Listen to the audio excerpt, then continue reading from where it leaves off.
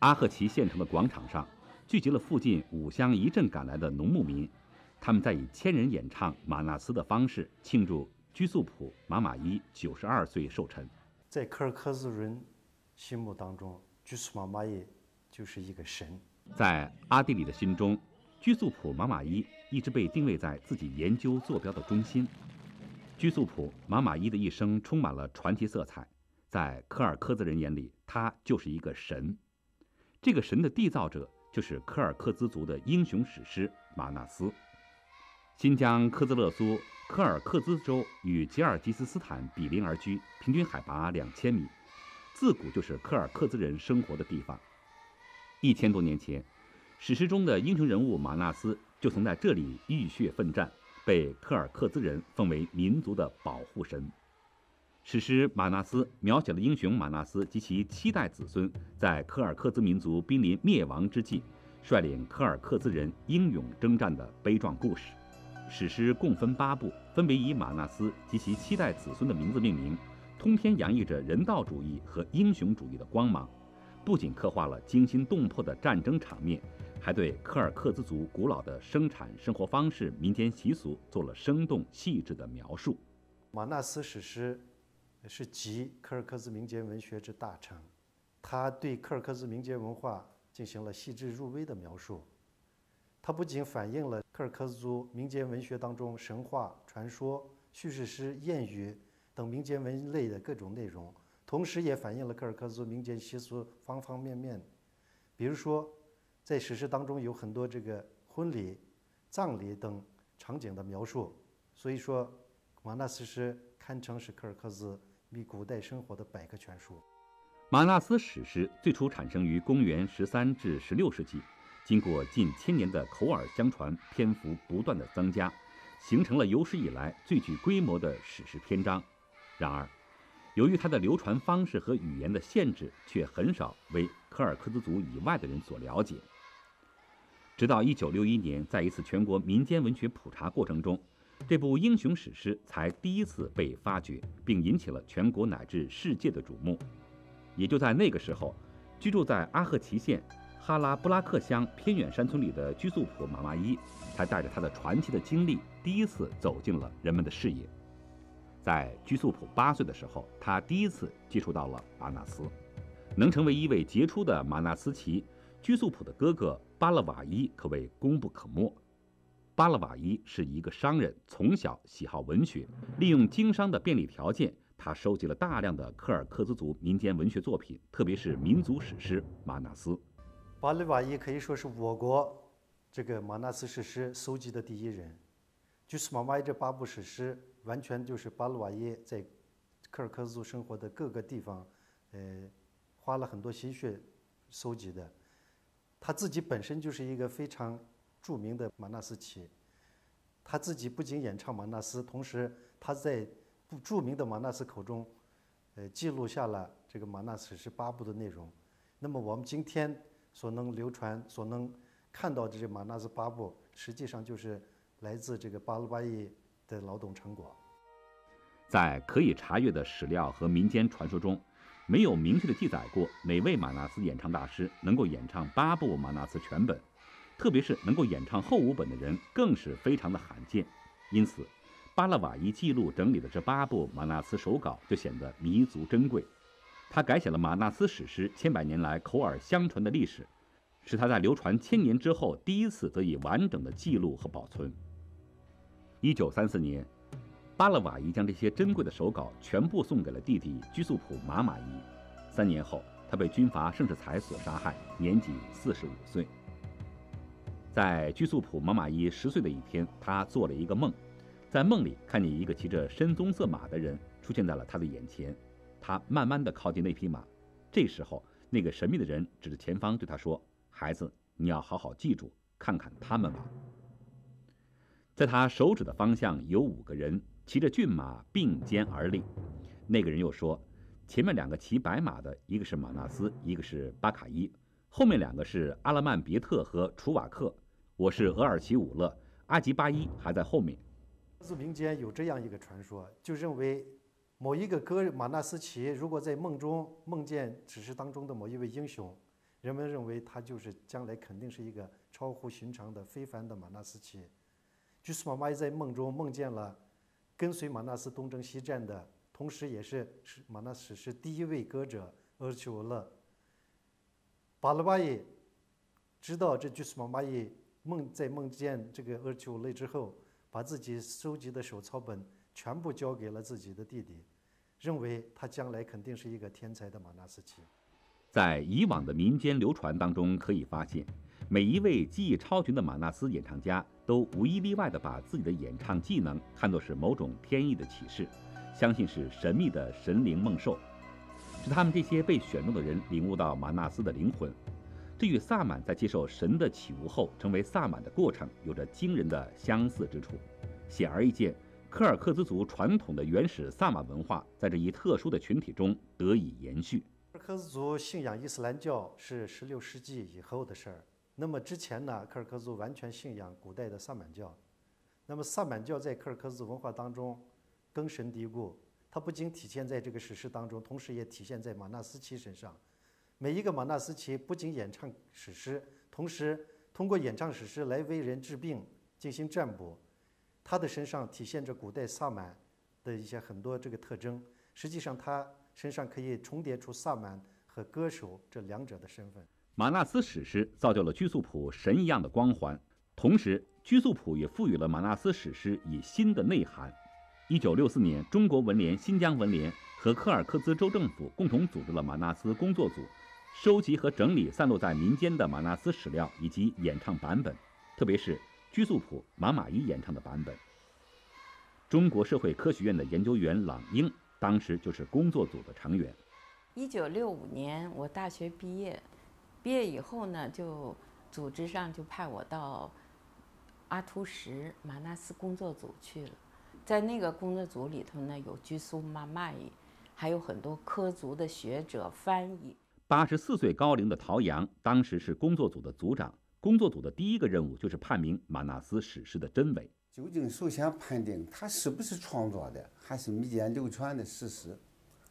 那么我就仔细的看，我看完了这个第一本以后啊，我就敢于断定，这绝对的是，呃，口头创作的，是这个祖祖辈辈流传下来的这样一个民间。英雄史诗。随后，工作组的重心全部放在了居素普马马伊的身上。这个时候，我们在马纳斯工作组呢，主要是翻译。翻译的时候，一个汉族，一个科族。那么在翻译的过程中呢，就是居素马麦是马纳斯工作组里头最忙、最重要的一个成员。那么就好几个科族轮流着记，他们的手都累了，但是他还。还是唱，唱的声音也挺洪亮，而且还比那个手势啊、眼神呐都很传神。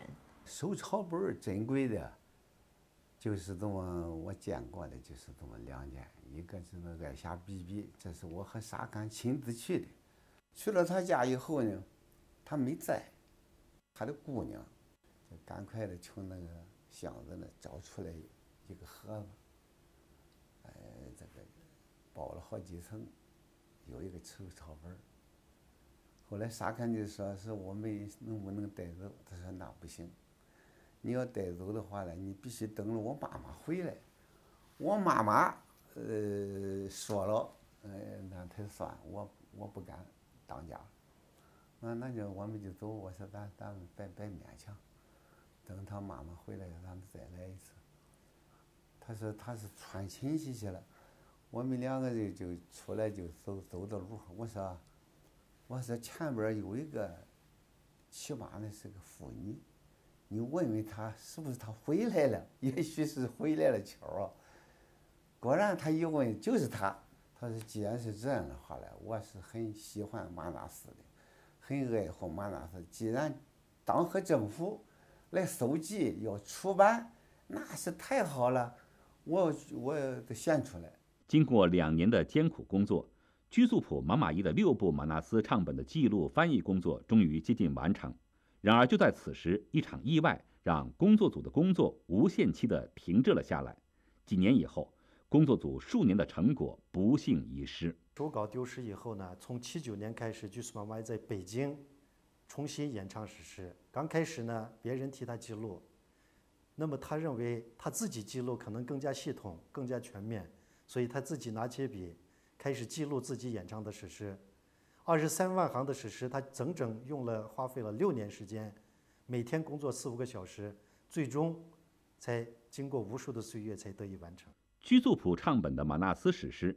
已经演变成了二十多万行、两千多万字的恢宏篇章，比荷马史诗《伊利亚特》整整长了十四倍，与藏族史诗《格萨尔王传》、蒙古族史诗《江格尔》并称为中国三大英雄史诗。居素普玛玛伊是有史料记载以来能够完整的演唱八部马纳斯史诗的第一人，也是唯一的一人，被国内外学者尊称为当代荷马。居素普的孙女儿在吉尔吉斯斯坦上大学一年级。学习科尔克孜文学，在一年的学习生活中，她时常能够感受到当地的人们对爷爷的敬佩之情。他们对我爷爷看的就是特别伟大的人，就是我怎么说我都不知道，就是他们希望他们只能握我握我爷爷的手就已经足够了，看我爷爷一眼就足够了。他们就那样说，就像传说一样的人一样，他们就那样看待。因为在这个世界上只有我一个，就是我爷爷一个唱马纳斯，在里边也有好多人唱马纳斯。也有年轻人，也有老的，可是他们唱的都没有到那个第八部的，所以他们对我爷爷看的特别那个，就像传说里一样人的一样，就那样看待。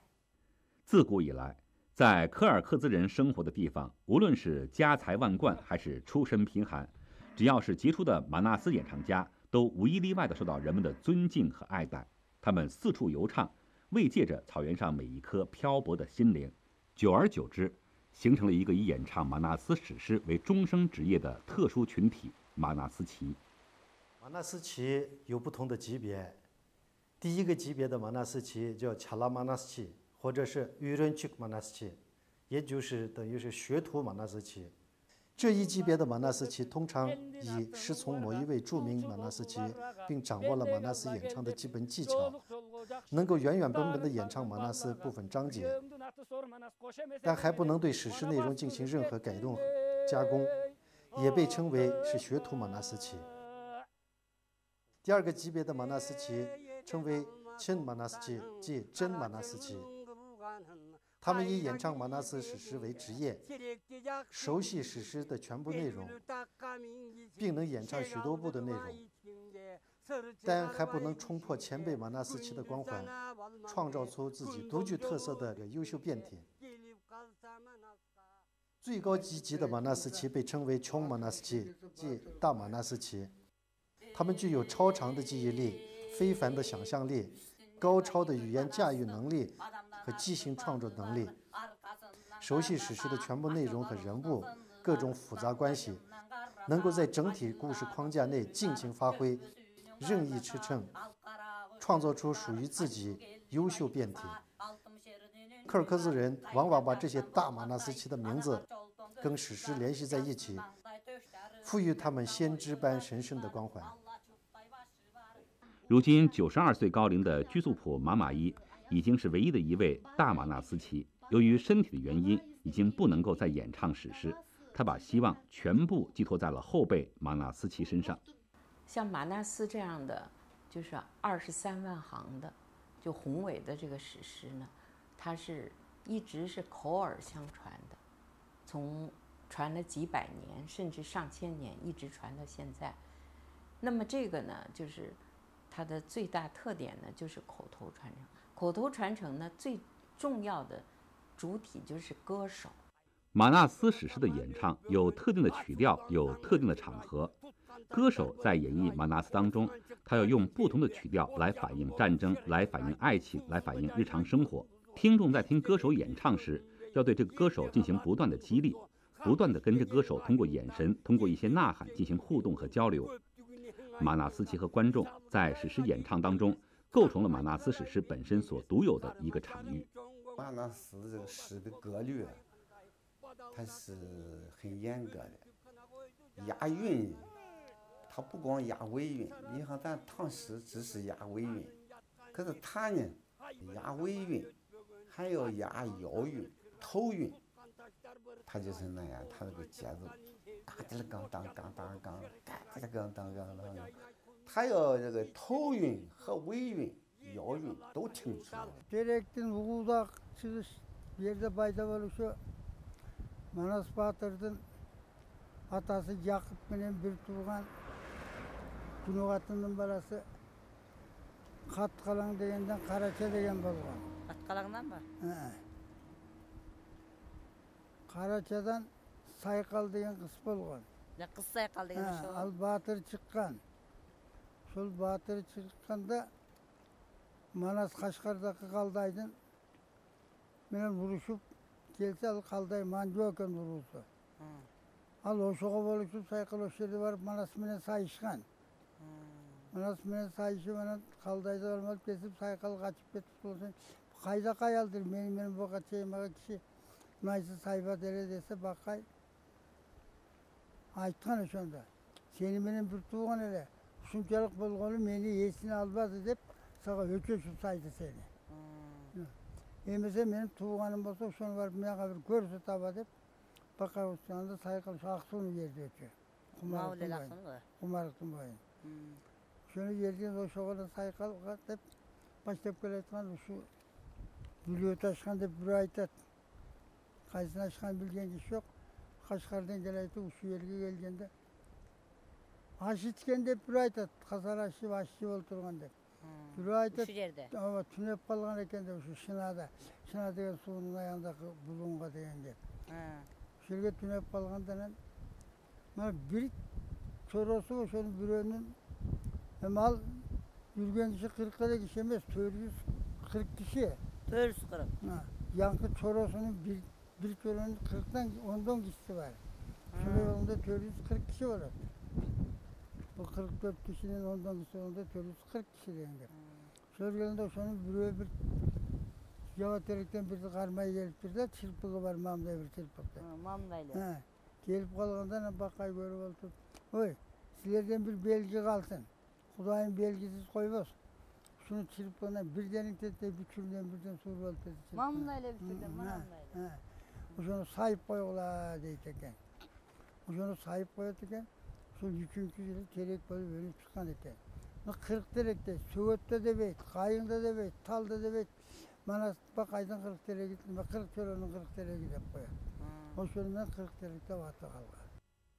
一代代马纳斯奇为史诗注入了新鲜的血液，同时也为不同地域的马纳斯版本打上了鲜明的烙印，使它在变异中不断发展、这种在传播中创新的能力，也是衡量马纳斯奇水平高低的重要标准之一。阿合奇县就像是崇山峻岭中的一座天然良港，一代代的马纳斯奇得以在此蕴蓄力量，扬帆起航。在阿合奇县的学校里，经常能够看到学生们学唱马纳斯的情景。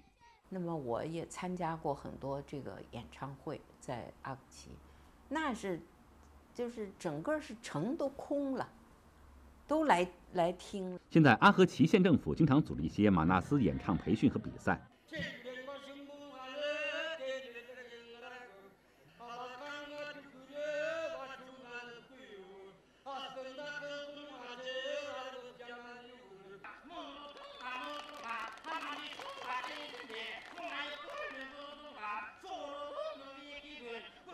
两年前，阿合旗县成立了马纳斯研究中心，专门收集散落在民间的马纳斯史料，并选择性的培养下一代马纳斯旗。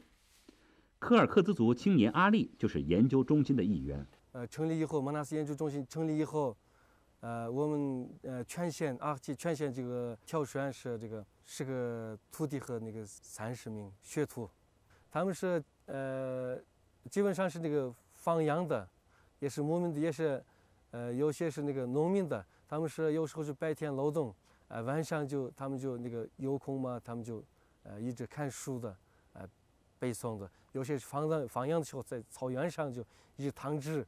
呃，一边放羊一边这个背诵，每一个演唱之，呃，每一个月大概是一千行左右是背下去，一年呃就是应该是一万两千行，但是我们就一年一万行左右的这个任务，呃，又是他们应该完成的。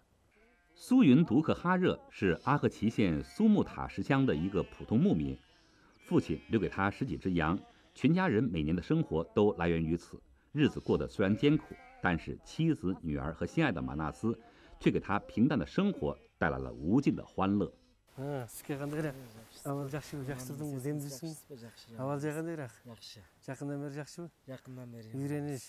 кызмат тирикчилик дегендер жакшы кетип барда үйрөнүш кызмат тирикчилик жаман эмес ә, негизинен ошо тирикчилик токтоп калып атпагандыр китеп менен болгондо тирикчиликте ошо күндүзү негизинен дыйканчылык менен алып бурушам чарба менен алып бурушам? Анан негизинен ошо түндөс үйрөнөм түндөсү ошо деңишини басып коюп деңиши эми бирден бир убакытты ала турган нерсе экен ә, түнкү саат он эки бирге чейин үйрөнүш алып барып анан уктайм да. Уктап эртең менен эрте коюп салкында үйрөнүп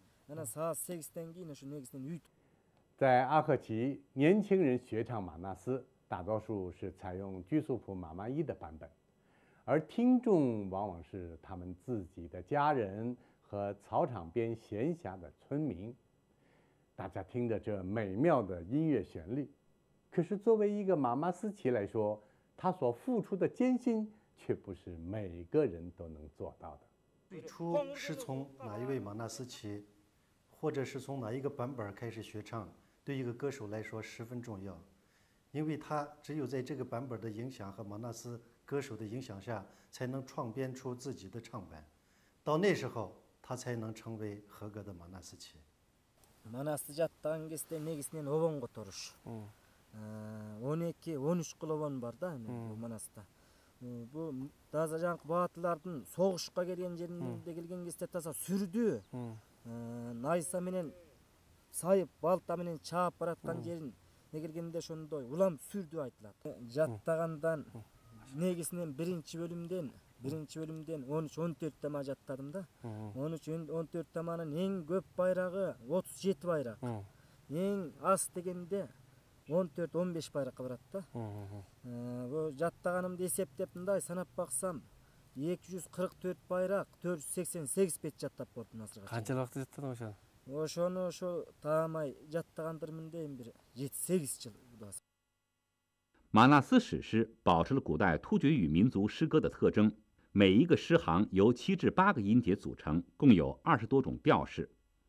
马纳斯奇在演唱史诗的那一刻，既是音乐家，又是歌唱家、说书人和演员。听众 可以通过他们的唱词、手势、表情和声调，看到史诗人物的怒吼、狂叫、搏杀、痛哭和欢呼，有一种身临其境的感觉。苏云独克研习了传统的马纳斯演唱技巧，现在他还处于艰苦的学习阶段，等待他的是每年一万行的唱本背诵和更加复杂的史诗创编和演唱。